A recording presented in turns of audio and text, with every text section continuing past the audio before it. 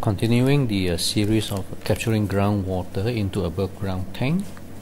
And you see a circle red. Today is the uh, tank installation. The tank has already uh, arrived. It's sitting next to the uh, smaller one. This tank is 5000 liters. The base is 2 meters. So I'm cutting the base with a meter uh, radius string to go around it.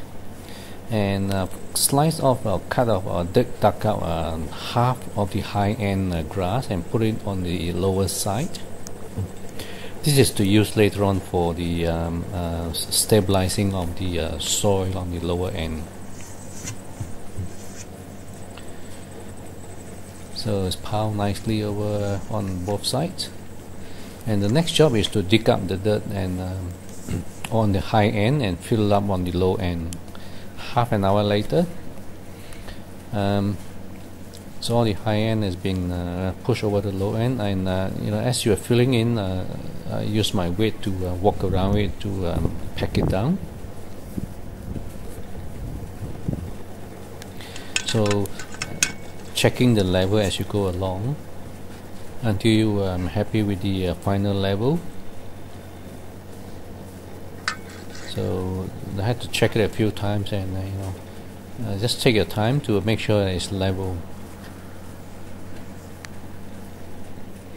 so I'm happy with it now and uh, the uh, rocks and gravels that I've dug up along it I've now laid it onto the um, lower end and then pack it with the grass. This will prevent erosion. Slide the tank into place now.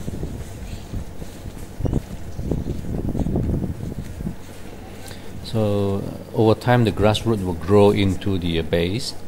And we've selected this tank is because it's got a nice um, gutter or groove um, around the edges. Uh, a few holes along it uh, you'll be able to trap you know runoff from the roof. So um, additional water captured in, in the tank. If you compare with the the other tank which is sitting beside I'll move over the camera now.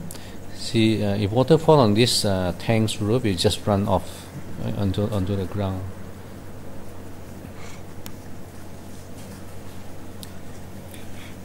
so with this done the um, it's, it's pretty easy um, setting that down the tank the uh, hard job is uh, coming along which is right over here. Putting all the uh, storm water into the ground